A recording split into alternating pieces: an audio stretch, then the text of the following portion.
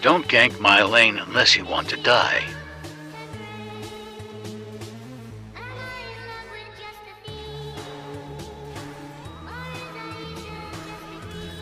Ghosting.